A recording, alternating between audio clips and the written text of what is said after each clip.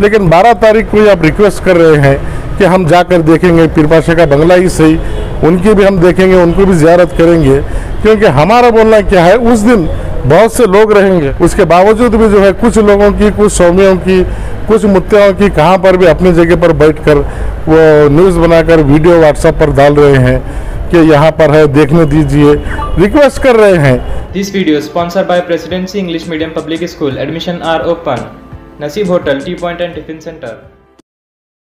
सलाम आदाब नमस्ते। आज हम हमारे पार्टी की तरफ़ से कुछ हमको फ़िक्र हो गई बारह तारीख के बारे में इसीलिए हम ज़रूरी समझे कि तहसीलदार मैडम को एक हम मेमोरेंडम देना। किस बात के लिए कि बारह तारीख के दिन यहाँ प्रोग्राम हो रहा है। हालाँकि डीसी साहब कई लोगों को बसों कल्याण आने के लिए कई महाराज मुत्तियों को भी मना किए थे उसके बावजूद भी परमिशन मिलकर प्रोग्राम हो रहा है, कोई बात नहीं, होने दीजिए।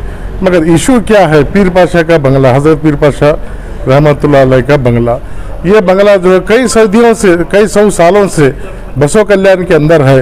और यहाँ पर बसों कल्याण के लोग जो भी हैं, तमाम आपस में भाइयों के जैसे हैं, हर हिंदू, मुस्लिम, सिख, ईसाई, जो भी यहाँ पर हैं, सब एक दूसरे भाइयों के जैसा रहते हैं।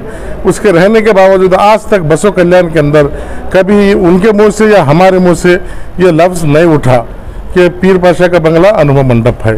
हालाँकि जामदार साहब यहाँ पर बसों कल्याण में 10 साल रह कर गए और उन्होंने 10 टाइम कहा कि ये नहीं है, अनुभव मंडप नहीं है, ये पीर पाशा का बंगला है। और कई स्वामी और कई महाराज भी वो भी बोल रहे हैं कि नहीं है। उसके बावजूद भी जो है कुछ लोगों की, कुछ स्वामियों की, कुछ मुद्दों की कहाँ पर भी अपनी जगह पर बैठकर वो न्यूज़ बनाकर वीडियो व्हाट्सएप पर डाल रहे हैं कि यहाँ पर है, देखने दीजिए।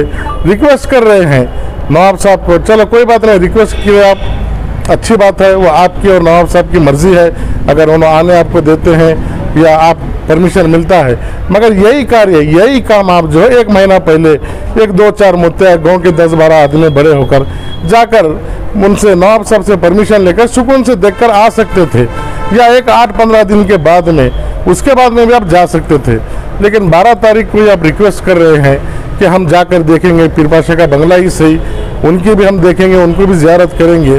क्योंकि हमारा बोलना क्या है, उस दिन बहुत से लोग रहेंगे मालूम नहीं क्या हज़ारों में होंगे सौों में होंगे, कितने लोग रहेंगे। अगर उतने लोग वहाँ पर जाएँगे, कुछ माहौल बदल गया तो बसों कल्याण का सुख चैन अब तक जो अमन है, वो खराब होगा। हमको इस बात की बहुत फ़िक्र है। इसीलिए हम तहसीलदार मैडम से, डीसी साहब से, एसपी साहब से, सबों से, सीएम साहब से भी रिक्वेस्ट करते हैं कि बसों कल्याण का जो माहौल है, वो ऐसे ही बने रहना। ये अच्छा है बसों कल्याण के लिए। देखिए, अभी यहाँ पर हमको इस बात की खुशी है कि बसों कल्याण में अनुमा मंडप का काम शुरू हो गया है। अनुमा मंडप यहाँ पर बन रहा है। उसके बावजूद आप लोग ऑब्जेक्शन कर रहे हैं। तो यहाँ का क्या अनुमा मंडप ब्रेक कर कर आप क्या अनुमा मंडप ले जाकर वहाँ बनाने वाले हैं? क्या करने वाले हैं? आप लोगों को भी खुशी होना, हमको खुशी है कि हमारे बसों कल्याण में अनुमा मंडप बन रहा है।